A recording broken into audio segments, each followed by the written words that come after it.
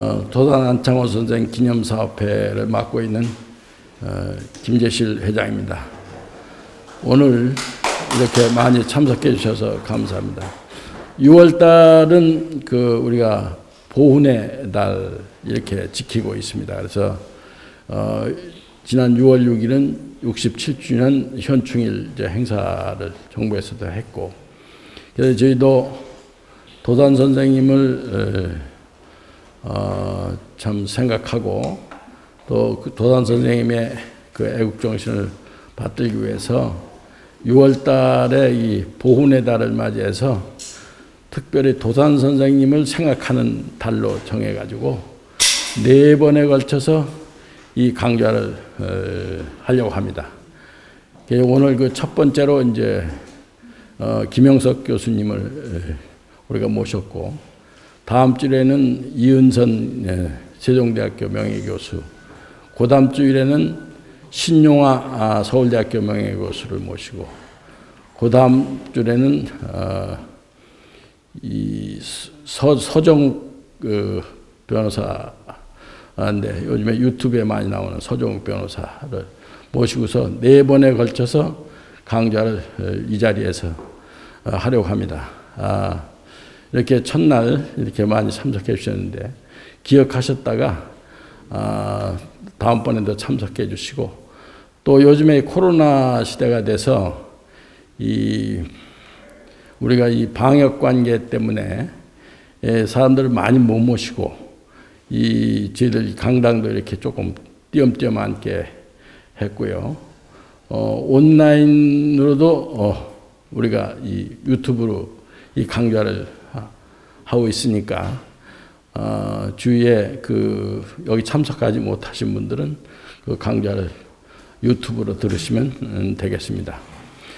어, 특별히 오늘은 그 참 우리가 넣게 하신 우리 김영석 교수님은 지금 연세가 103살 되시는 분이신데 정말 참 어려운 걸음으로 어, 하셨고 특히 이 김영석 교수님은 특이한 것이 도산 안창호 선생님을 직접 뵈신 분입니다. 지금 생존해 있는 사람으로서는 도산 안창호 선생님을 뵌 분이 없는데 아, 도산 안창호 선생님이 대전 감옥에서 추록해서 한 2년 동안 평양에 잠깐 머무시는 동안에 그때 한 몇 번그 어, 배웠다고 합니다.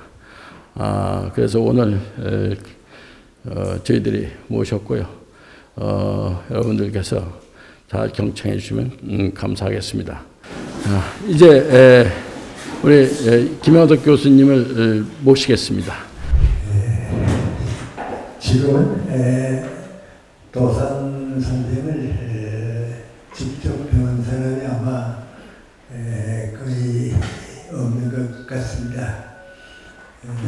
제가 좀 오래 살아서 도사선생을 직접 변호 사하는 가운데 한 사람이 되지 않았나. 그리고 제가 도산 선생을 배웠고서 4, 5개월 후에 세상을 떠났으니까 아마 아, 마지막 배웠고 또 도산 선생이 강연도 많이 하셨는데 제가 마지막으로 어, 선생님의 예, 강연도 듣고 또 설교도 어, 들었기 때문에 예, 여러 가지를 생각해서 예, 도산 선생이 내 생애에 밑거름이 되고 어, 오늘까지 나를 키워주신 분 가운데 가장 고마운 분이다.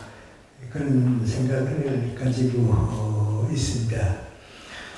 다른 선생님들이 이제 도산 선생에 대한 말씀들을 많이 하실 것 같아서 저는 우리 선생님이 민족 역사에서 가장 어려운 시대를 사셨는데 그 시대 분위기 또 그 시대에 어떤 그 어려움이 있었는가 그건 우리가 다 경험하지 않았으니까 모르는데 예, 그런 말씀을 좀 드리고 마지막에 제가 아, 도산 선생을 대신해서 여러분에게 드릴 말씀이 있다고 하면 무엇일까 아, 그런 말씀으로 결론을 드릴까 그렇게 생각합니다.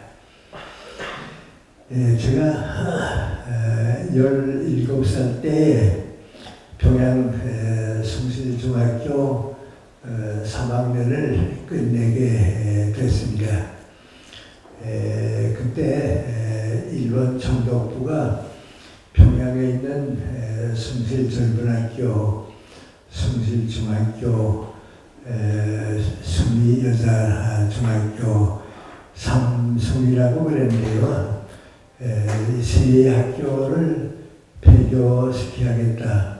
왜냐하면 기독교 정신이 너무 강하고 민족 의식이 너무 강한 교육을 하기 때문에 학교를 없애야겠다. 그런 결정을 내린 겁니다.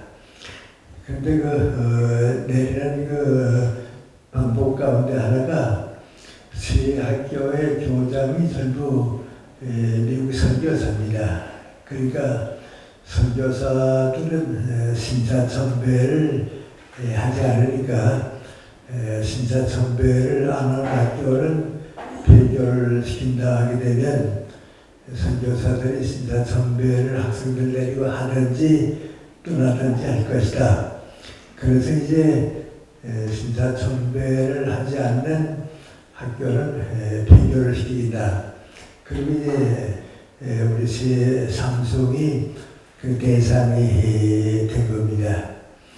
그래서 기독교계 지도자들 또 평양의 유지들이 모여서 에, 어떻게 했으면 좋겠냐 이 많은 학생들을 일본 교육으로 보낼 수는 없고 에, 또 신사참배를 선교사들은 에, 못할 테니까 에, 좋은 방법이 없겠느냐 그러다가 제가 다닌 중학교에는 평양 성실전문학교에 정두현 교수님이 계셨는데 그분이 교회 장로입니다. 근데 그분한테 예, 부탁을 해서 500명이나 된 학생을 일본 교육으로 보낼 수는 없으니까 당신이 교장이 돼서 어, 학생들 데리고 신사참배를 하더라도 예, 학교를 살려야지 않겠냐. 그래서 그 정규 교장이 내가 아, 가겠다고 그 이제 교장이 예, 돼서 예, 오게 된 겁니다. 그때 이제 나는 에, 나 혼자 생각에 신사천배를 하고라도 학교를 다니는 게 옳은가 신사천배를 하지 않기 위해서 학교를 떠나는 게 옳은가 많이 좀 고민을 했습니다. 그때 고민하는 것은 에, 뭐 신앙심도 있고 여러 가지가 있겠지만은 에, 우리 교회 목사님이 또 두 분 장로님이 신사천배를 거절했다고 해서 정말 모진 고문을 당하고 목사님은 거의 세상 떠날 위치까지 갔다가 훈련하고 그렇게 됐습니다. 아, 그리고 조금 얘기가 다른데 나갔다가 들어옵니다만 그 목사님은 그 다음에 산정현 교회 목사님으로 공산 체험위원 그 당시 이제 일제 시대는 신사 참배를 할 수 없이 하고 공산치하에 산정현 교회 목사로 갔는데 그 교회 장로님이 고단 조만식 장로입니다. 거기 가서 목회를 했는데 우리 목사님이 그 생각에 일제시대 신사참배를 내가 거절하려고 하다가 에, 마지막에 할 수 없이 참배를 하고 교회를 이끌어갔는데 공산주의 사나에서는 내가 타협하면 안 되겠다. 아, 순교를 당하더라도 에, 타협하면 안 되겠다. 그래서 산정현 교회 계시면서 반공운동을 아주 끝까지 했습니다. 끝까지 하니까 조만식 장로님이랑 그 교회 장로들이 생각하기를 우리 목사님이 저렇게 공산주의를 반대하는 발언을 하고 그렇게 되면 김일성 정권이 그대로 두어두질 않을 테니까 법에 의해서 잡아가고 그건 아닙니다. 아, 북한이라고 하는 사회는 가장 중요한 문제는 공산당에서 합니다. 당에서 하게 되면 뭐 경찰이고 뭐 보궐이고 없습니다. 당에서 했다 하면 예, 그걸로 끝납니다. 그래서 그 장로님들이 예, 목사님 사모님하고 또 교회의 전도사님하고 교회 항상 나오시는 분들에게 부탁을 했습니다. 목사님은 절대로 밖에 나갈 때 혼자 나가지 못하게 하시라고. 혼자 나갔다가 언제 어떻게 사라질지 모르니까 예, 혼자 나가지 않고 꼭 한 사람 같이 다니라고 부탁을 했습니다.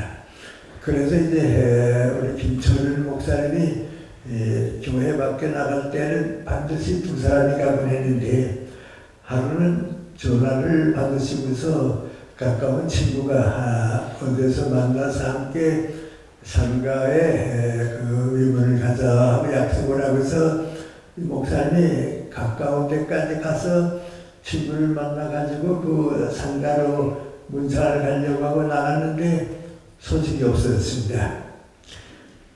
그래서 어, 목사님이 약속을 했는데 안 나오셨다 그러니까 전화 받고 나가셨다고 말이죠.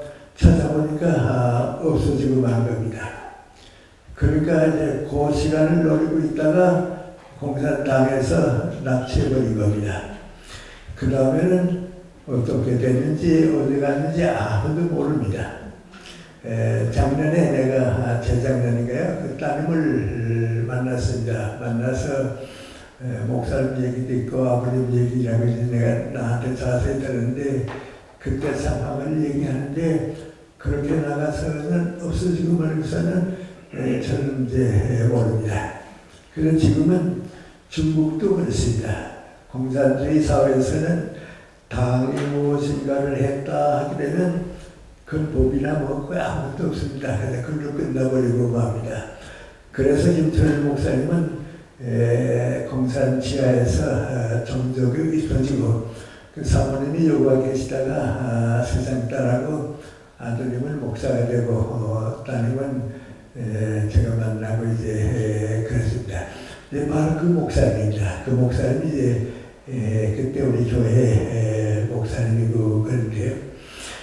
제가 이제 아까 그 얘기는 끝나고 이제 돌아와서 예, 신단 선배를 하고 학교를 2년 더 계속 할까 아니면 신사 선배를 할 수가 없으니까 아, 학교를 떠날까 고민하다가 우리 목사님도 그렇게 고생하시고 에, 아버지 친구가 되는 두 장로님도 와서 고문을 많이 당하 그랬는데 신사 선배를 그만둬야겠다 말이야 안 해야겠다 안 하면 이제 학교를 떠나야 합니다.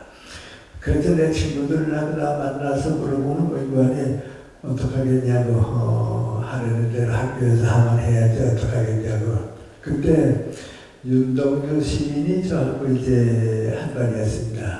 그래서 윤동주 시인을 만나서 에, 넌 어떡할래? 그랬더니 에, 나는 신사 선배 못한다고 하죠. 어, 그래서 만주를 다시 가서 어, 거기 영종학교로 다시 가겠다고 그래서 인동주는 만주를 다시 갔습니다. 신사 선배 못하겠다고 거절하고 저는 여러 가지를 생각하다가 학교를 그만둬야겠다. 아, 신사 선배 안 하기 위해서 학교 그만둬야겠다. 그래서 에, 학교를 떠나보냈습니다. 학교에 떠나서 1년 동안 가만 지나고 보니까 아, 16살인데요. 한, 정말 앞이 캄캄하고요. 어, 답답하고 그렇습니다. 그래서 우리 집이 학교에서 한 20리쯤 떨어진 시골인데 에, 학교 교복은 못 입고 에, 자전거를 통학을 했습니다. 아침에 자전거 타고 평양시 도서관에 가서 9시부터 5시까지 책도 읽고 혼자 공부하다가 5시가 되면 학교 끝나는 시간이니까 또 집에 돌아오고 그래서 한 1년 동안을 학교 가지 못하고 어, 그 도서관을 에, 다녔습니다. 그런데 학교는 이렇게 보면 내 친구들은 다 학교 다니는데 나는 못 갔지 하고 생각하니까 마음도 좀 아프고요. 어, 고통스러웠습니다.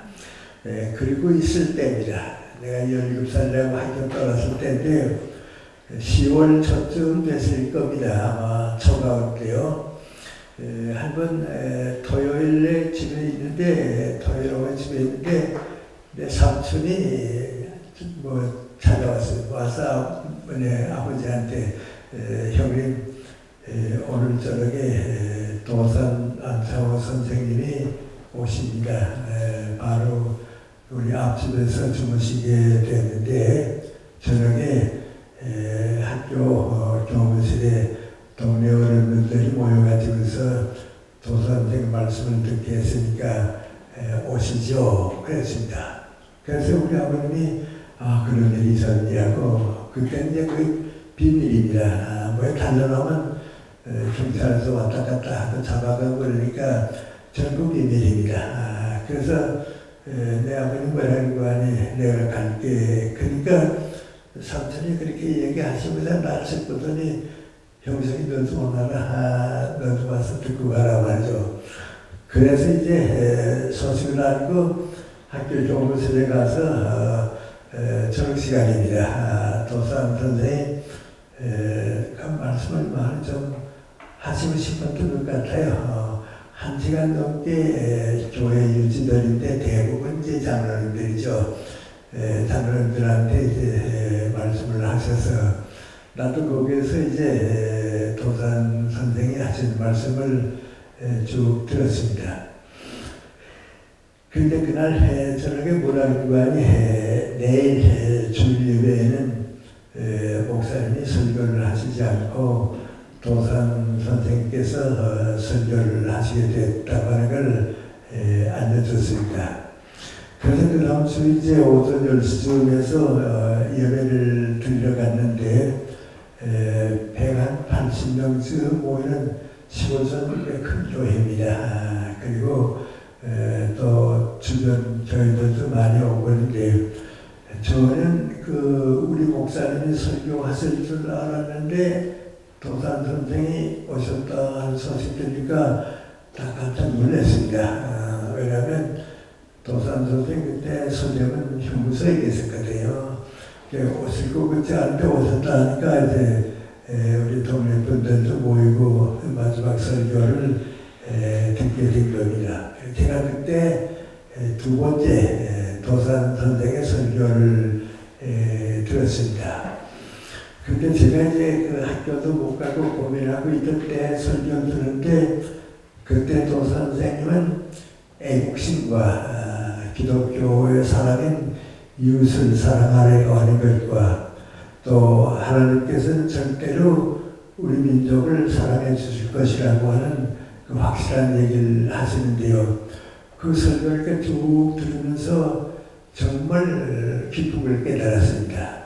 에, 솔직히 말씀드리면 외관이 그때까지 교회 가서 많은 목사님 설교를 듣고 교회에서 말하는 우리 학교에서도 많은 설교를 들었는데 목사님의 설교를 전부 들었지 목사님 알분의 설교를 거의 예, 조만식 선생 것만 들어봤지 들어본 적이 없습니다. 근데 도산 선생의 설교를 쭉 듣고 나니까 목사님들이 하시는 설교하고는 여러 가지가 다르습니다. 많이 다르습니다. 그래서 이제 그 설교 때문에 제 인생에 한 변화가 오게 됐는데 그때는 나는 이제 교회에서 자랐고 또 교회에서는 항상 이 다음에 신학을 공부하고 목사가 되는 것이 중요하니까 나도 허락이 되면 신학자가 되거나 목사가 되겠다 하는 생각을 가지고 있었는데 도산 선생의 설교를 가만 듣고 나니까 모든 목사님들의 설교와는 다르습니다. 그리고 예수님의 말씀에 더 가까운 것은 목사님 설교가 아니고 도산 선생의 설교다. 그것이 강하게 느껴졌습니다. 그래서 후이적으 생각을 좀 정리해 보았는데 두 가지가 이제 나타나게 됐습니다. 첫째는 인간이 신앙이라고 하는 것은 내 마음의 그릇이 크면 크게 받아들인 거고 마음의 그릇이 작으면 작게 받아들인 거다. 그러니까 목사님들보다는 도산 선생의 마음의 그릇이 크니까 더 큰 신앙을 받아들였다. 그 무슨 차이가 있는가? 우리 목사님은 교회라고 하는 그릇에서 신앙을 받아들이니까 크지 않았지만은 도산 선생님은 신앙을 민족과 국가를 위해서 받아들였으니까 차원이 다르구나 말이죠. 그 아주 강하게 느껴졌습니다. 그리고 이제 그 다음에 이제 성경을 자꾸 읽어보고 읽어보고 하니까 두 번째 이제 그, 그걸 이제 재산을 느끼게 되는 게 미관이 조금 기독교적인 말씀만 들어서 미안한 것 같긴 합니다만 예를 들어 말하면 예수님이 세상에 계시는 동안에 한 번도 교회 걱정하신 일이 없습니다. 뭐 큰 교회가 된다, 복 받는 교회가 된다, 뭐 좋은 교회, 교회 걱정하신 일이 없습니다. 예수님 항상 하늘나라, 하나님의 나라를 걱정했지 교회를 걱정하지 않았습니다. 그러니까 우리 목사님들은 신앙을 받아들일 때 교회를 위해서 받아들이고 도산 선생은 신앙을 받아들일 때 민족과 국가를 위해서 받아들이니까 정말 신앙을 뭔가 이것은 민족 국가를 위해서 하나님 나라를 만드는 국가와 민족을 변화시키는 것이 신앙이란 말이죠. 그러니까 저는 고민을 하게 됐습니다. 목사가 되는 것보다도 도산 선생 같은 신앙을 가지는 것이 더 주님의 뜻이 아닌가 고민하게 됐습니다. 근데 왜 그렇게 됐는가 하면서 조금씩 철들어서 생각해 보니까 이유는 간단합니다. 아, 그것은 우리 모든 교회는 교회를 유지하기 위해서 신앙이 무엇인가 하고 물어보면 교리가 신앙입니다. 우리도 교리를 가지고 이제 삽니다. 그런데 예수님은 신앙을 교리로 생각한 게 아니고 진리로 말씀했습니다. 그러니까 예수님 당시에 교리라고 하는 건 계명과 율법입니다. 그런데 예수님은 계명과 율법은 다 버렸습니다. 다 버리고 하나님께서 주신 말씀은 진리를 우리에게 가르쳤습니다. 그래서 제가 그때 깨달은 게 민관이 아 도산 선생님은 교회에서 중심이 아니기 때문에 예수님의 말씀을 진리로 받아들였지 교리로 받아들이진 않았구나. 그리고 도산 선생 같은 분을 명관이 민족과 국가를 바꿔와서 하나님의 나라를 건설하는 걸 기독교로 받아들였지 교회는 좀그 그 일을 가기 위한 길 과정이라고요. 교회를 통해서 하나님 나라가 더 큰 목적이다. 그래서 제가 신학 공부를 하는 것보다는 인문학 철학 공부를 하고 또 목사가 된다 하는 것보다는 폭넓게 교육자가 돼야겠다 하는 것을 택해 아마 그 때문에 그랬습니다. 그런데 지금도 그건 후회하지 않습니다. 아, 그건 또 에, 내가 신앙적으로 받아들인 일이기 때문에 후회되지 않는데 그런 변화를 주신 분이 바로 이제 에, 도산 에, 선생입니다. 그리고 이제 여러 가지를 생각하다가 할 수 없으니까 아, 다시 학교로 가야겠다 말이죠. 그래서 1년 동안 학교를 떠났다가 이제 다시 학교로 갔습니다. 갔는데 이건 이제 그 당시를 살아보지 않은 사람들은 모릅니다. 1년 동안 말 없이 자태원 선생 것도 아니고 말 없이 학교를 떠났으니까 우리 선생님들도 어떻게 생각하는 거 아니 윤동주 시인하고 김용석 학생하고 둘은 신사청배를 할 수가 없으니까 학교를 떠났다. 그런데 학교가 인정을 하고 있었 거죠. 그 내가 할 수 없어서 이제 에, 1년 후약하고서 4년 되면서 학교를 찾아가면서 학교에서 날 받아줄 되는가 아니면 너 학교 떠났으니까 다시 못 온다 그러는가 아주 그 쫓겨났다 오는 것 같이 이제 학교를 찾아갔습니다. 가서 이제 층층대로 올라가서 이제 교무실 있는 이쪽으로 이제 올라가는데 김윤기 선생님이라고 우리한테 영어를 가르쳐 주시던 선생님이 계십니다. 그 선생님이 쓱 지나가다가 날 보시더니 형석이를 학교 왔구나. 학교 오려고 한 거지? 그래요. 그러니까 우리 선생님들이 나를 얼마나 기다려줬던 겁니다. 아, 아, 올것 같기도 하고 기다렸다. 근데 뭐내 담임 선생도 아닌데 뭐 이거 아니 형석이도 학교 왔구나. 아, 어서 오라라 말이죠. 그런데 거기 가면 신발을 벗고 들어가야 하는데 신발을 벗고 들어가려고 그랬더니 나 직접 데리고 갔거든 뭐 이거 아니 너 학교 다시 가려고 왔지? 예, 그랬더니 나 따라와. 다 데리고 다니면서 수습하면서 예, 학교 초부터 학교 오는 거다. 그래서 시작했습니다. 그러니까 마치 그 우리 선생님들이 어머니가 아들을 멀리 보냈다가 잃어버렸다가 다시 온것 같이 그렇게 즐겁게 받아들여요. 소하게. 그 1년 동안 정말 행복했습니다. 선생님도 나를 사랑해 주셨고 나도 또 어머님의 뒤로 다시 돌아온 것 같아서 했는데 이제 제일 처음 걸린 게 민구안이 학교 초에는 신사청배를 가야 합니다. 아, 그 이제 일제시대에 할 수 없이 그러니까요. 그런데 신사청배를 학기가 봄학기 시작되는데 가게 되는데 나도 이제 할 수 없이 가게 됐습니다. 그래서 학생들 쭉 대회를 해가지고서 신부가 앞에까지 갔습니다. 가면 교장 선생님이 제일 앞에 서고 그 옆에 이제 선생님들이 쭉 옆으로 이렇게 서고 학생들은 이제 따라서 이렇게 쭉 종행으로 서게 되니까 교장 선생님, 선생님들, 그 다음에 이제 우리 학생들 옆에 서고 그럽니다. 그 신사 청백이 다른 건 아니고요. 에, 체육 선생님이 에, 이제 차렷하고요. 최경례 하는 겁니다. 그런데 90도 이제 저를 격려하는 겁니다. 그리고 이제 예, 그걸로 끝납니다. 간단하니까 그걸로 끝납니다. 내가 좀 키가 작기 때문에 앞자리에 있었는데요. 예, 우리 체육 선생님이 자리하더니 경례 해서 이제 교장 선생님들 다 경례하고 바로 해서 이제 일어났습니다. 그리고 이제 교장 선생님이 돌아서서 이제 같이 오는데 앞에서 이렇게 쭉 우리 교장 선생님 보니까 어떤 분이 앞에 섰다가 돌아오게 돌아서시는데 그 주름 쌓는 얼굴에 눈물이 그래서 쭉 흐르고 있어요. 우리 교장 선생님이 에, 당신은 안 가도 되지만은 우리 500명 학생들 위해서 대신 십자가를 지었구나 말이죠. 그래 그 눈물을 보고 나니까요. 어, 나도 모르게 에, 민족 국가가 독립하지 못하면 이렇게 되는구나 말이죠. 이렇게 되는구나. 그래서 이제 1년 동안 에, 행복하게 지낸데요.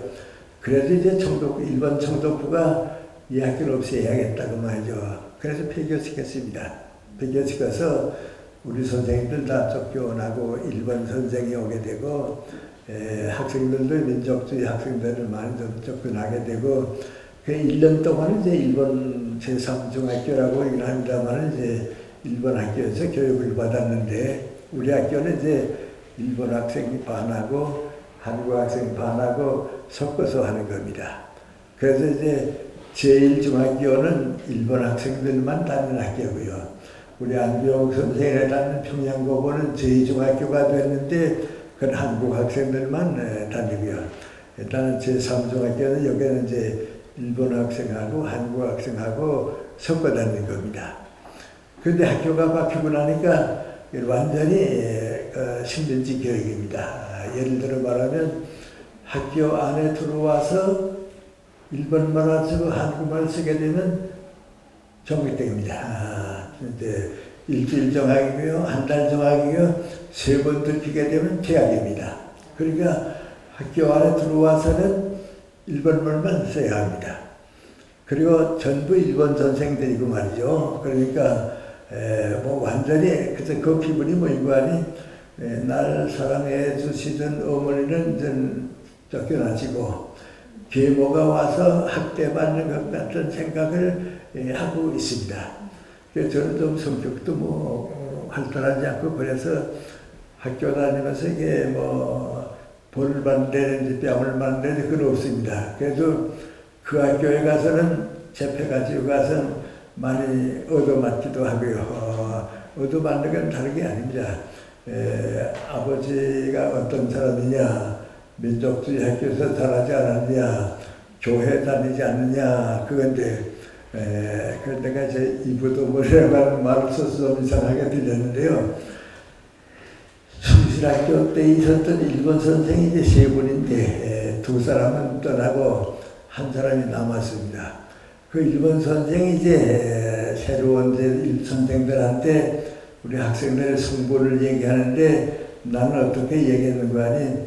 에, 1년 동안 학교를 쉬고서 왔으니까 이 민족주의자다 말이죠. 아, 그러니까 뭐야 요 경계죠. 어, 이 학생은 사상이 온전하지 못하다. 그러니까 이제 에, 제표 가서 이제 분도 받고 그런데 에, 지금 생각하면 좀 부끄럽기도 하고요. 어떤 면에서는 그래도 그런 아픔을 겪은 것이 잘 됐다 한 생각도 했는데 이유 없이 교부실로 끌어가면 선생님들 다 있는 데서 뺨도 얻어맞고 뭐 많이 얻어맞았습니다.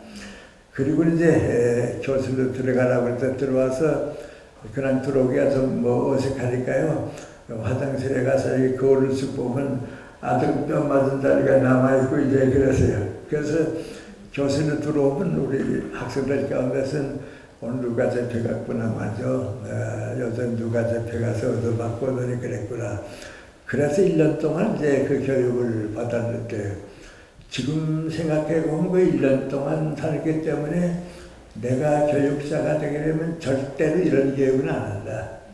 이건, 교육이 아니고 어, 이런 사람을 인간 대우해서 정치적 목적 때문에 버림받는 거니까 아니라 그 지금도 어, 그때 봤던 게 1년 동안이 이제 많은 교훈이 좀 되고 어, 그렇습니다.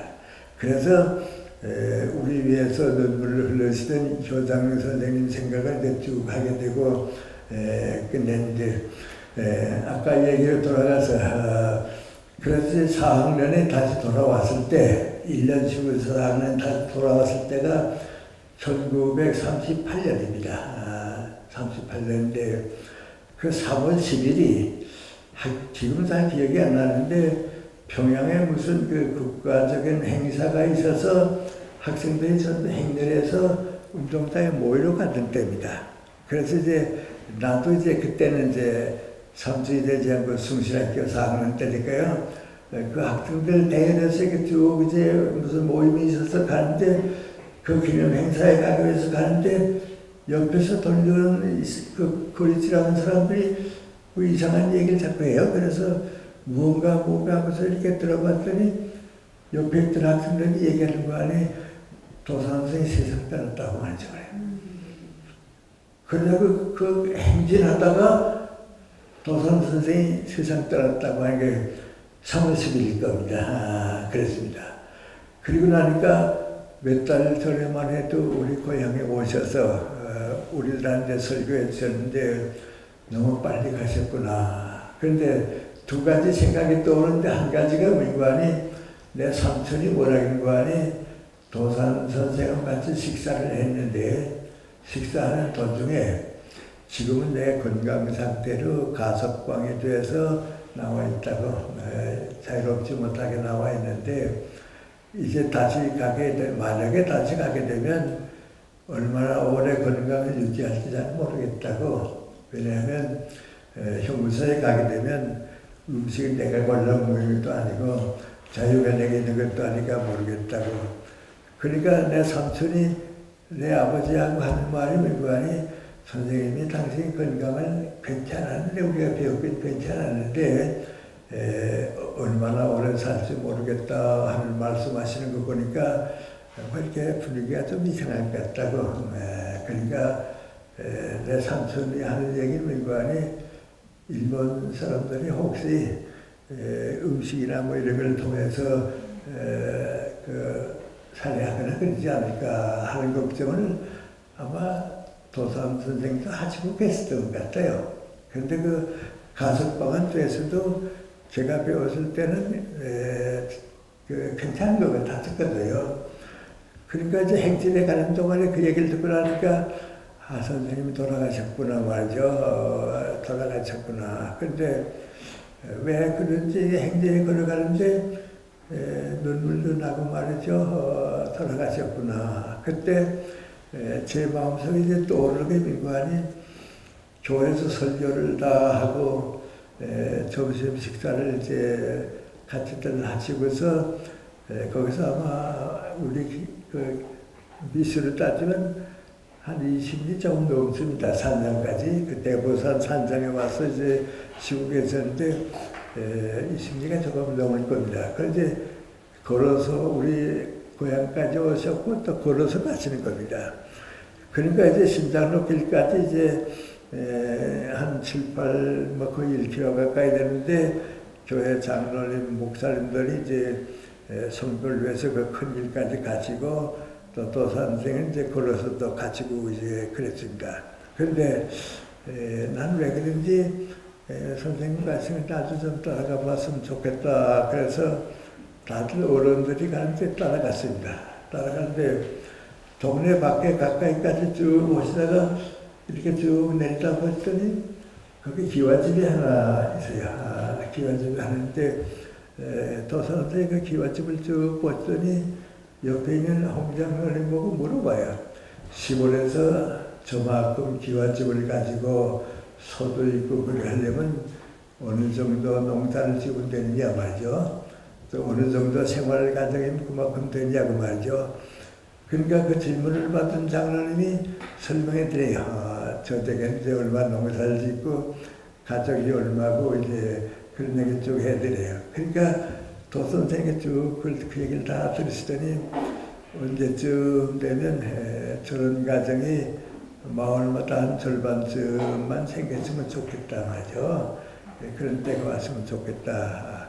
그, 그, 아주 그 마을 사람들이 잘 사는 거 한 번 봤으면 좋겠다. 예, 그 말씀을 하셨어요. 그리고 이제 가시는 거, 그건 내가 옆에서 이제 예, 들었거든요. 지금도 이제 그 인상이 남아서 몇 해 전에 충청도 지방 좀쭉 다니고 돌아와서 도삼성 동생도 있고 그러잖아요. 제가 여기 들러서 저 혼자 그랬습니다. 선생님, 저는 마음 놓으세요. 아, 제가 충청도 지방 쭉 다니보니까 이젠 다잘 삽니다. 아, 다잘 삽니다. 그리고 미안합니다만 나보다도 이제 더 다 잘 살게 될 테니까요. 선생님 걱정하지 마세요. 그렇게 걱정하셨는데 그 아주 전 국민들이 다 행복하게 살아줬으면 좋겠다 하는 마음으로 그래서 가득 차 있어요. 설교할 때도 그렇고요. 그래서 이제 애국심이 뭐다 하는 걸 그때 이제 강하게 이제 느꼈습니다. 그리고 이제 해방이 되는데 해방되고 나니까 제일 처음 이제 생각나는 게 누구하니 몇 평만 더 계셨으면 해방까지 보시고 돌아가셨으면 얼마나 좋았을까. 평생 독립하는 못 보고 가셨는데 그 생각은 누구나 가집니다만 이제 저도 가지고 그랬습니다. 그런데 이건 제가 느끼는 거니까 말씀드린 건데요. 그리고 이제 해방을 맞이했습니다. 맞이하고 제가 2년 동안 공산국가에서 살다가 이제 다시 이제 대한민국으로 왔는데 도산 선생이 북쪽에서 해방을 맞이하고 공산주의 사회에 사셨다 하게 되면 어떻게 생각하실까? 어떻게 생각하실까? 아마 내가 살 것과 똑같은 생각일 거다. 근명관이 공산 치하는 일제 때보다도 사람 대접을 못 받는 사회입니다. 그 아마 그 내가 속에 도산 선생이 만약에 2년 동안 내가 북한에 사는 것 같은 것을 경험했으면 더 마음 아파하실 거다. 더 고통을 느끼셨을 거다. 그런 생각을 합니다. 그래서 뭐 해방 못 보고 가셨지만은 북한에서 해방을 맞이한 것보다는 차라리 일찍 가시게 더 편했을지도 모르겠다. 그건 제가 가지고 있는 생각입니다. 근데 지금 도산장님이 이제 살아계셔서 막 나보고 이제 얘기하고 그러다 하게 되면 내 생각이 맞다. 아, 북한은 일제 때보다도 더 잘못된 사회다. 그렇지 않을까 그렇습니다. 그런데 제가 이제 그런 말씀을 여러분한테 드린 것은 에, 제가 오늘 여러분하고 함께 나누고 싶은 건데요. 도보산 선생님이 일제 시대를 살고 뭐 지금까지 북한 공산 세계까지 보시면서 우리와 같이 사신다고 하면 어떤 생각을 가지고 사셨을까, 아, 어떤 마음을 가지고 사셨을까. 그런데요, 제가 생각하기에는요, 인도의 마하트마 간디 선생과 같은 생각을 가지고 사셨을 것 같다. 예, 그 생각입니다. 예, 제가 중학교 때부터 지금까지 이제 존경하는 분이 예, 마하트마 간디를 참 고맙게 생각하고요.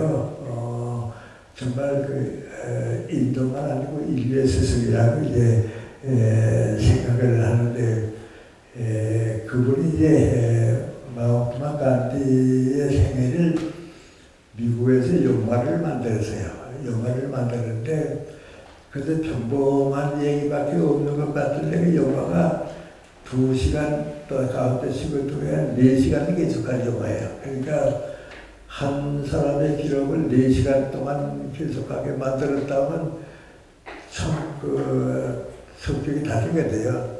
그런데 그 영화가 이제 뭐 미국하고 이제 우리나라도 왔으니까 에, 그러겠습니다만 미국 사람들도 많이 보고 그랬는데요. 그 간대 선생이 이제 영화가 다 끝나게 되면 이제 어떤 장면이 나오냐 하면 간대 선생이 세상을 떠나고서요. 에, 화장을 해서 이제 시신이 가루가 되지 않았어요. 그걸 임다생강에 이제 쭉 뿌립니다. 뿌리면서 그 영화 마지막에 뭐고 하니 간디 선생이 남겨놓은 말씀을 이제 그 마지막으로 남기는데 모든 거짓은 사라지고 진실이 남고 온갖 폭력은 사라지고 사랑이 남는다고. 그게 간디 선생의 생애입니다. 아마 도산 선생도 좀 더 오래 살아 계셨다고 해도 정직해지자, 진실해지자, 거짓 없는 사회를 살아보자. 그리고 폭력을 반복하는 것은 언제나 죄악이니까 그것은 안 된다. 아마 그 뜻을 남기지 않았을까 그런 생각을 해봅니다. 예, 그리고 저는 이따 먼저 얘기하는데요. 여러분 혹시 미국 LA에 가시게 되면요. 그 가까운 곳에 리버사이드 시티라고 하는 중소도시가 있습니다. 크지 않은 도시가 있는데요. 그 도시에 가게 되면 백인들이 사는 곳입니다. 시청 앞에 길쭉한 게 구역같이 된 강당같이 좀더 멀리 된 공원이 쭉 있는데요. 동상이 세 개가 있습니다. 애 앞에는 흑인 지도자로 세시다가 암살당한 마틴 루터 킹 목사의 동상이 있습니다. 그리고 뒤에는 누구 동상이 있는 거 아니 우리 도산 안차고 선생님의 동상이 거기에 있습니다. 그리고 그 뒤에는 내가 갔을 때는 개혁만 세우고 동상은 없었는데 지금 동상이 생겼습니다. 그 인도의 마하트마 간디 선생의 동상입니다. 그래서 저는 여행을 하다 여러 곳에 가봅니다만 거기에 갈 때마다 두 번 가는데요. 갈 때마다 외관에 참 미국 사람들이 생각이 넓고 고마운 분이다.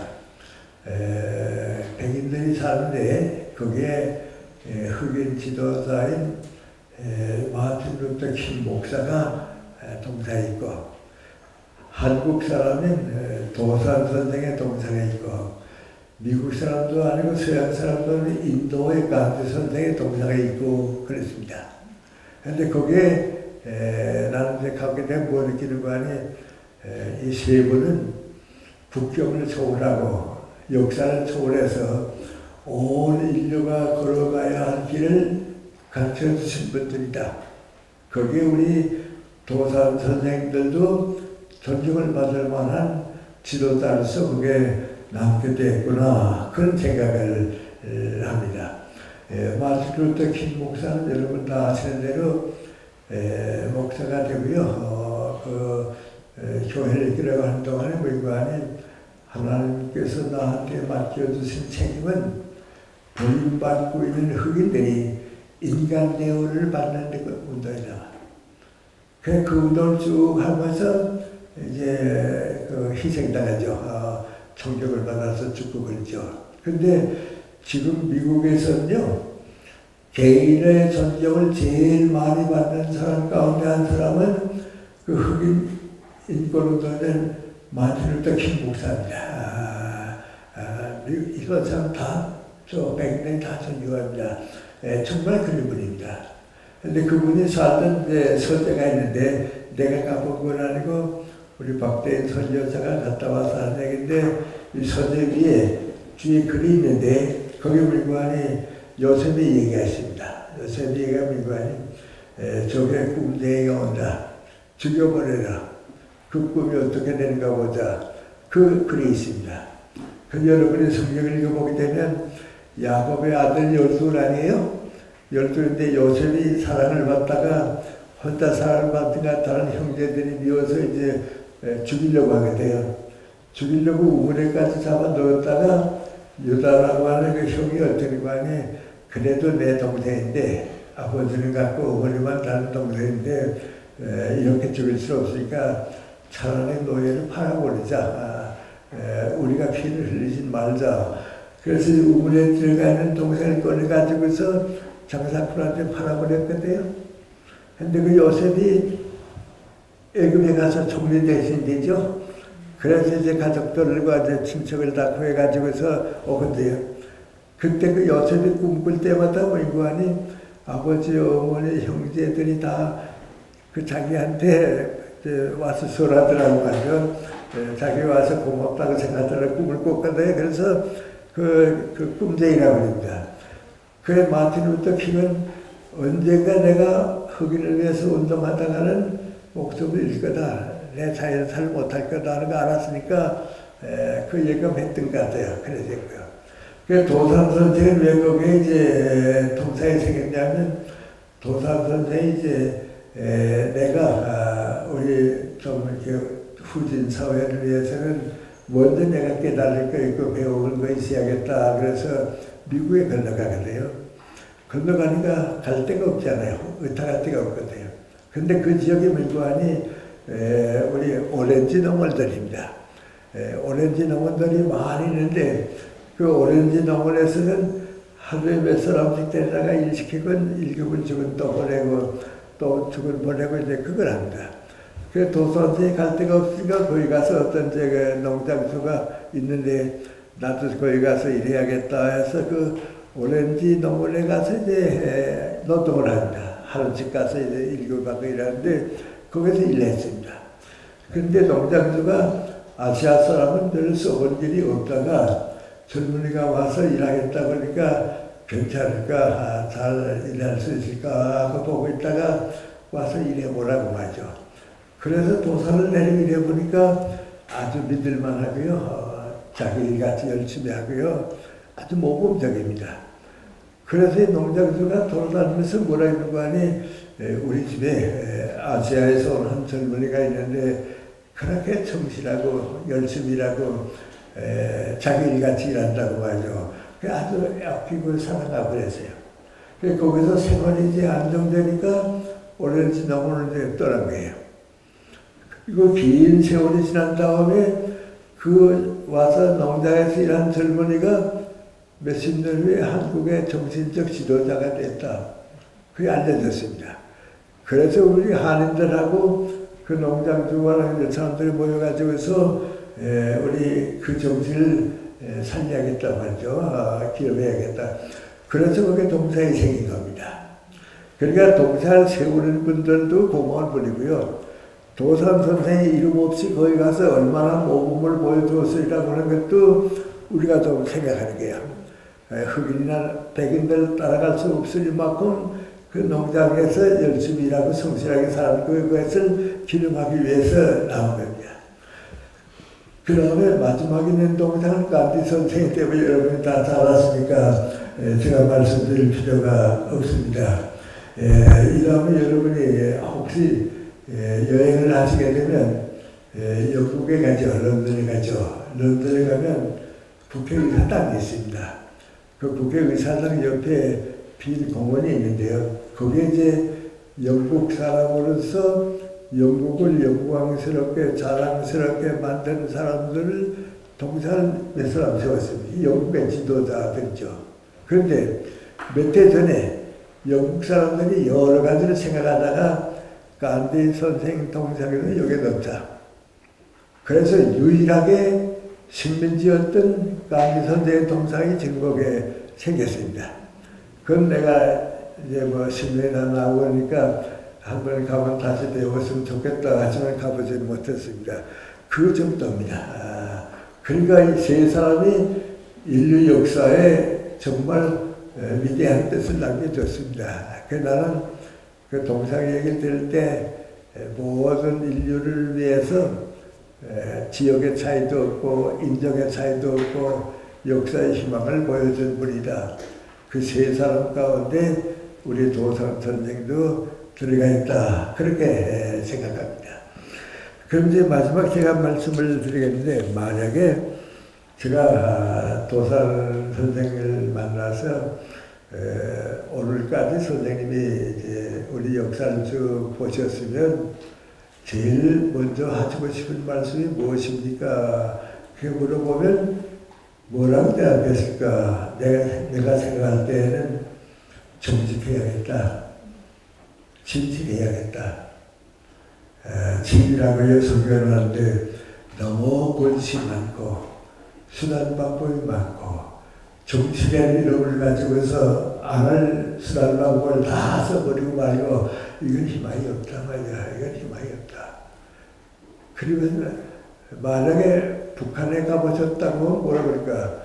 북한에는 완전히 없어진 거예요. 미관이 김일성 정권이 들어오면서 없어진 거예요. 정직이 없습니다. 공산주의 국가에는 믿을 사람도 없고 믿을 것도 없습니다. 제일 큰 대표적인 한 가지가 뭐다 아시는 일입니다만 저는 직접 체험했으니까 말씀을 드리죠. 1945년에 우리가 해방을 맞이했죠. 8월 15일에 이제 해방을 맞이하게 됐는데요. 그 해방을 맞이하고서 얼마 안 됐을 때입니다. 9월 초순입니다. 동네 어른들이 나한테 와서 오늘 앞동네 성주가 그동안 쭉그 시베리아 뭐 만주 쪽에 있다 돌아왔다고 했는데 그 집에서 어, 손님 대접을 하고 조발을 같이 먹는데 가보자고 그래요. 그래서 내가 아 그랬냐고 그럼 저도 가겠다고 그 당시 이제 손님을 대접하게 되면 조반을 대접하는 때입니다. 아침 좀 일찍 시간에 갔습니다. 제 만정대 그 뒷마을이죠. 거기 이제 나를 사랑해 주시니까 내가 잘 아는 김성주의 할아버지도 계시고요. 삼순도 있고요. 또 그 김성주의 동생들은 내가 가르치기도 하고 그러니까 뭐 다 인연이 있으니까 이제 나로 간 겁니다. 거기 갔는데 이제 김성주가 왔어요. 초등학교는 내 선배가 되고요. 그때 내가 스물네 살이고 김성주 나보다 8년입니다. 8년인데 이제 왔습니다. 그런데 조반을 다 먹고서 이제 동네 그 어느 분들 교회 장로님들이 좋으십니까요? 이따가 누가 그 김성주 보고서 이제 우리나라가 해방도 되고 독립하게 되면 새로운 나라가 건설되어야겠는데 그 새로운 나라가 어떻게 됐으면 좋겠다고 생각하느냐 그랬습니다. 그랬더니 그 김성주 때문에 그 아침 모임이 있었으니까요. 그 성주가 앉았다가 번떡 일어나더니 뭐라는 거 아니? 우리가 이제 새로운 나라가 되게 되면 첫째가 친일파숙처이고 두 번째가 모든 국토를 빼앗아서 나라가 가진다고. 개인 소유를 얻고 나라가 가진다고. 셋째는 사장과 지주를 다 추방하고 모든 공장에 그 나라가 흡수하고 에, 모든 이제 에, 그 지주나 이런 사람들 다 숙청한다고 말이요. 그걸 첫째, 둘째, 셋째, 여섯까지 얘기하는데 꼭 초등학교 학생이 숙제를 받았다가 애우듯이 애워요. 근데 내가 그 얘기를 듣고서 어, 저 성주, 성주가 공산당원이 됐구나. 네, 공산당원이니까 뭐 당에서 하는 순서를 그대로 에, 얘기하는구나 말이죠. 에, 공산 당원이 됐구나 알았습니다. 근데 그날 이제 해졌습니다. 해지면서 한 3주간도 안 되실 것 같다. 한 3주간 좀 되는데 10월 3일입니다. 10월 3일인데 동네 어른들이 한 두 사람이 나 만나더니 김정은을 평양에서 김일성 장군 환영을 하는데 보러 가자고 말죠. 그래요. 그래서 내가 나는 좀 집에 있고 싶으니까 다녀오시라고 오시면 좀 얘기해 달라고. 그래 그분들은 가고 난 또 한 20대가 되니까 안 가고 그랬습니다. 그 저녁에 그분들이 오더니 나보고 김생 가슴 참 좋았을 뻔했다고 그래요. 왜 그랬냐 그랬더니 우리는 김일성 장군을 보러 갔는데 김일성 장군은 아니고 우리 동네 성주야 그래요. 그 무슨 얘기냐 어, 우리 성주 뭐 우리 동네 사람 아니냐 그랬더니 그 김일성 장군 왔다 그래 가보 너무 젊어서 가봤더니 성주야 내가 좀 의심스러워서 가까이까지 가봤었는데 성주야 그래요. 그때 그 가만 생각해 보니까 아 이제 그 성주가 만주에 가서 이제 그 독립군 비슷하게 이제 다니게 돼요. 그게 일본 군대들하고 군대보다 경찰들이 저 싸우고 가는데 거기에 대원이 됐을 거다 하는 걸 내가 그날 느꼈는데 성주가 아니고 성이 김소로 돌아왔거나 말이죠. 그래서 이제 그 소련 군부에서 장군이 어떻게 보니 북한 사람들이 김일성을 너무 기다리고 있으니까 만들어낸 겁니다. 그런데 여러분도 어떻게 김성주가 우리가 기다리는 50대 후반쯤 돼서 김일성 장군이 됐을까 하고 이제 나도 걱정하고 이제 그런데 왜 이렇게 됐을까 하는데 이유가 있습니다. 38선이 맥히지 않았어요? 38선이 이렇게 맥히고 나니까 서울에서 무슨 소식이 오는데 소식이 없습니다. 뉴스가 없습니다. 근데 이따만큼 소식이 오게 되면 제일 관심 끄는 소식이 뭐이고 하니 누가 이제 새로운 나라가 되게 되면 나라를 이끌어갈까 어떤 사람 지도자가 나올까 그 관심이 제일 많습니다. 그런데 평양 거리에 가보게 되면 벽보가 많이 붙어요. 여기저기 붙는데 무슨 벽보가 제일 많냐면 이제 독립하고 새로운 나라가 건설되게 되면 이 나라를 이끌어갈 지도자는 누군가 서재필, 이승만, 김구, 김일성, 안재홍 이런 사람인데 이 다섯 번째 사람은 서울에 있는 사람이고 네 사람은 애국서 들어옵니다. 근데 서재필, 이승만, 김구는 다 서울로 간 사람이고 김일성 장군만은 평양으로 올 사람이다.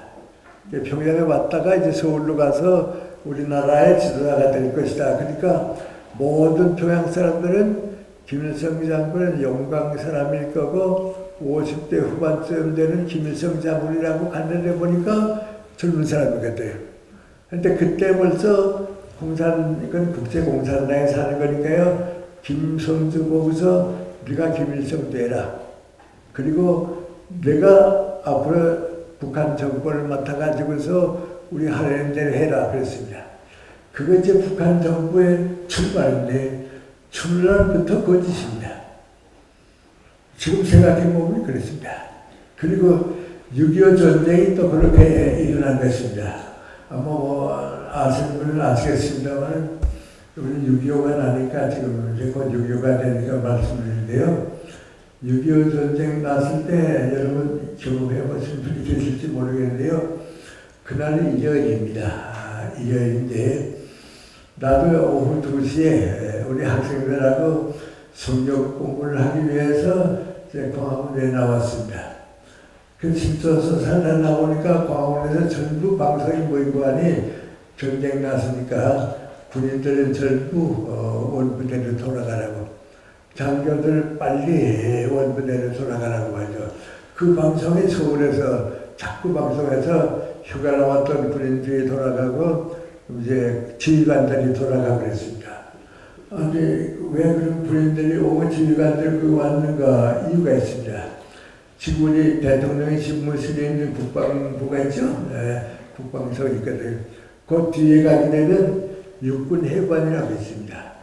그 육군 해관을 육군에서 이제 장성들을 위해서 만들었다고 해가지고 낙성식 이제 다 낙성한 낙성식을 한다 하면서 6.25 전쟁 나는 그 전 토요일 저녁에 전군에 나가 있는 군단장, 사단장, 연대장까지 다 그 낙성식 파티에 초대했습니다. 그러니까 이 전쟁의 책임자 될 만한 장군들이 다 용산 육군에만 지금 뭐 지금 청와대를 하는데 대통령 집무실 그 뒤에 모이면서 군인들 또 사병들 휴가를 뒀습니다. 오늘 토요일이고 어, 내일 일요일이니까 오늘과 내일은 전부 어, 고향에 갔다 오고 휴가를 뒀습니다. 그러니까 전쟁 책임자 장군들이 다 여기 왔죠. 밤새껏 파티 열어가지고 축가 파티였고 술 마셨죠. 그리고 군인들은 전부 휴가 맡아가지고 왔죠. 전쟁은 갑자기 터졌죠. 그러니까 빨리 돌아가라고 그랬습니다. 근데 그건 김석원 장군이 하도 답답하니까 삼천이라고 하는 작품에 그때 우리 그랬다고 자기도 지휘관 가운데 하니까 말이죠. 그렇게 우리가 철없었다고 말이죠. 이승만 정권이 그렇게 우리가 이제 책임을 졌다고 말이죠. 그래서 지금 우리가 같이 걱정하는 것은요, 안보 문제만큼은 확실해야 합니다. 이건 뭐 언제 무슨 일이 생길지 전혀 모릅니다. 그러니까 생각을 해보세요.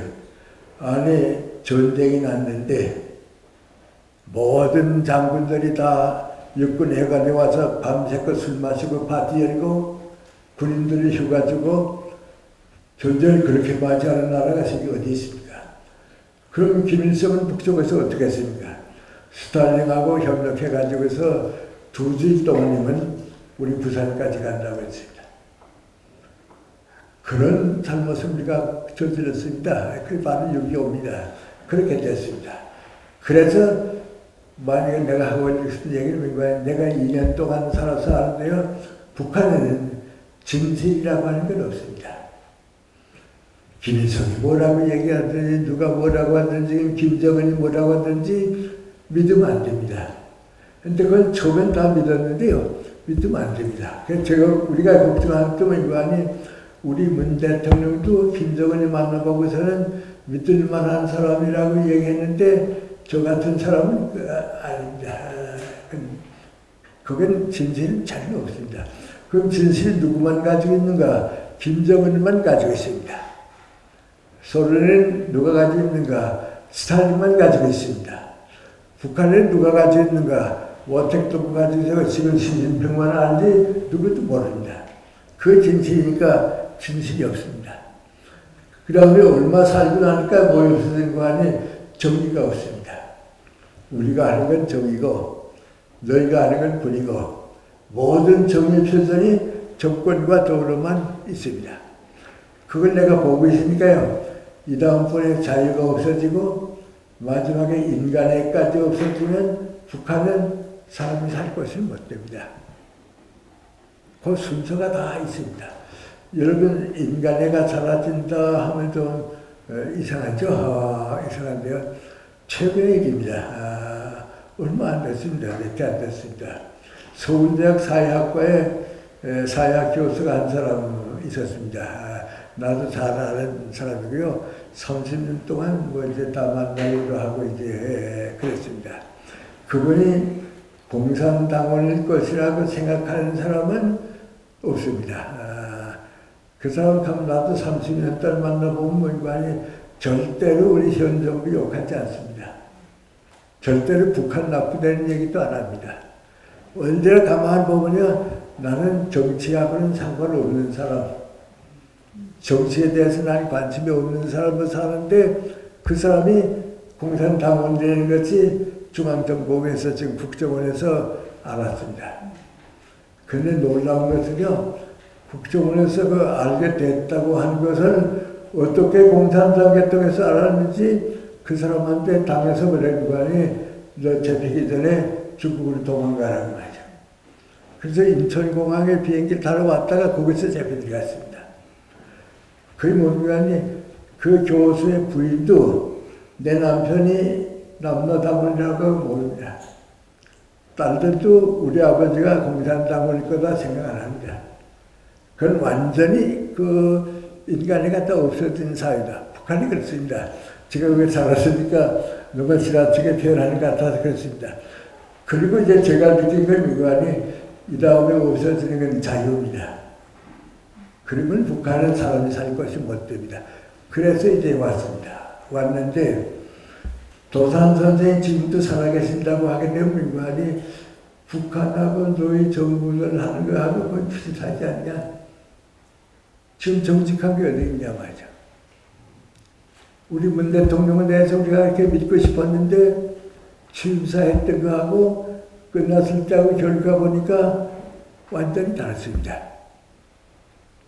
처음부터 마지막까지 통합, 통합, 통합, 통합 얘기했는데 왼쪽은 지금 완전히 돌로 갈라지고 말았습니다. 그러니까 위에서는 통합이라고 얘기하고 싸움은 누가 시켰는가? 우리 정권이 시킨 겁니다. 근데 이걸 우리가 지금 고쳐야 합니다. 우리가 바로 잡아야 합니다. 그리고 마지막에 언론 탄압까지 가려고 하다가 못 간 겁니다. 그러니까 북한이 가는 방법하고 우리가 가는 방법하고 자꾸 가까워지게 되면 이건 안 되죠.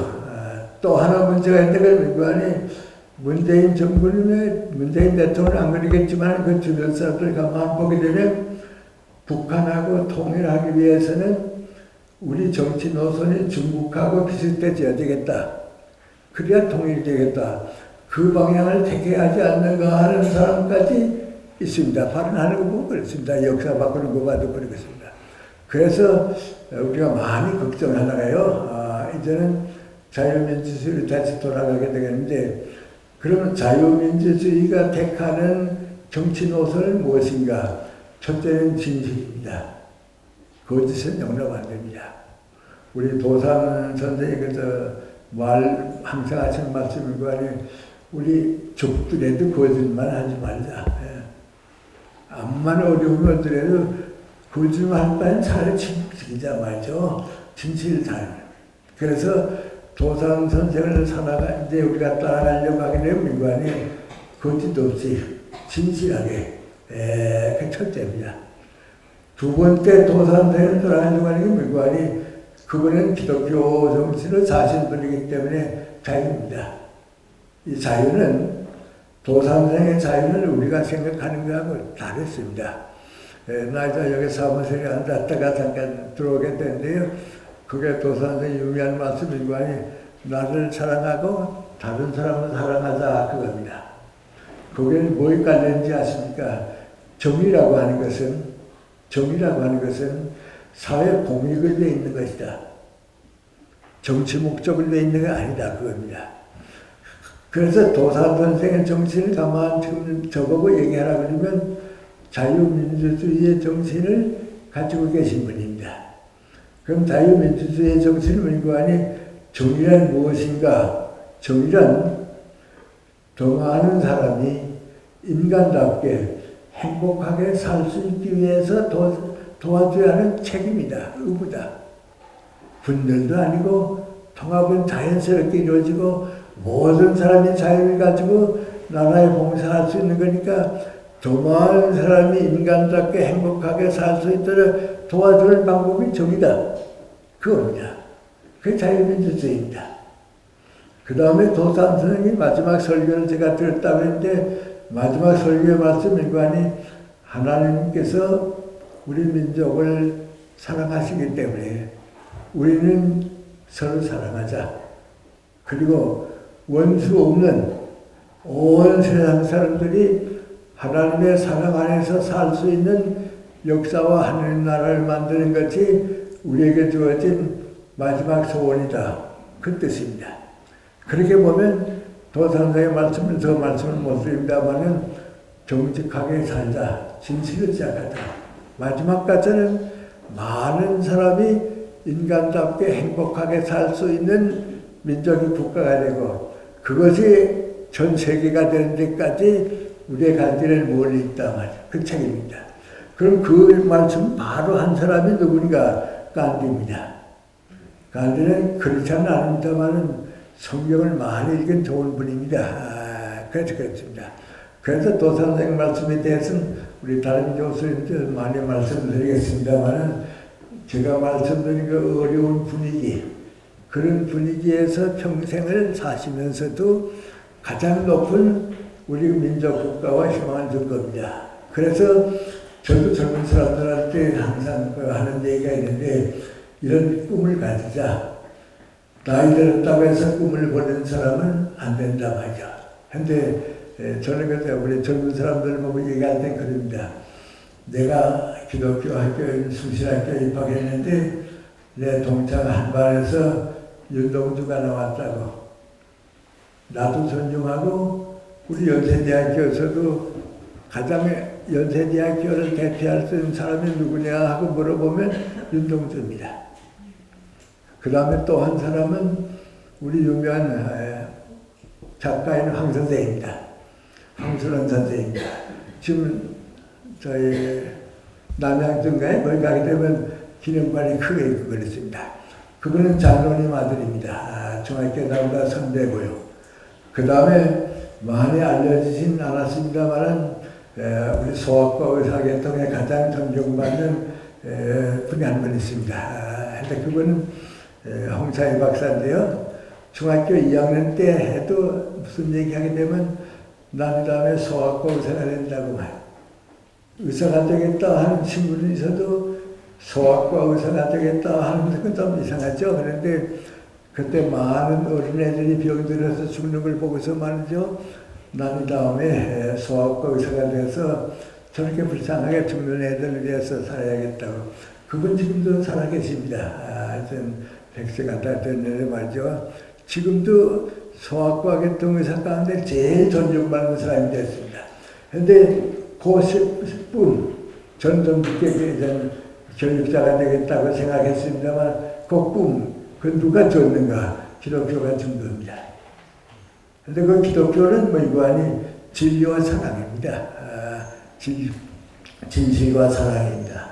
그래서 도산 선생의 뿌린 씨가 우리들에게 남고 또 그 열매가 또 우리가 남겨줘서 대한민국이 희망을 가지고 새 출발할 수 있지 않는가 하는 생각입니다. 근데 저는 도산 선생을 이렇게 생각할 때마다 도산 선생을 받아들이고 끝나는 게 아니고 도산 선생님의 정신을 출발점으로 해서부터 이제부터 나가야 합니다.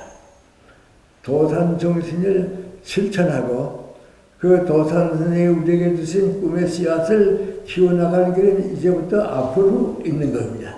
그런 점에서 우리 아마 아, 기념사 앞에서도 이런 모임도 가지고 그랬습니다만은 우리 도산 선생은 우리 민족 역사에서 제일 어려운 때 사신 분이고 제일 어려운 때 사신 분인데도 불구하고 우리 민족 국가에 가장 희망을 안겨주시는 분이다. 그런 생각하게 되면 예, 우리가 도산생을 마음속에 기리기 때문에 더 많은 사람에게 실천할 수 있고 그 뜻을 보여드릴 수 있고 그것이 우리의 희망이 아닌가. 전 지금도 예, 도산생을 잊지 못하고 있는 것은 그때 오셨던 그 말씀 그리고 몇 달 후에 내가 행진하고 있을 때 도산생이 세상 떠났다고 할 때 받았던 충격 신사참배를 가서 우리 교장 선생님이 흘리실 눈물 이런 것 때문에 지금 살고 있습니다.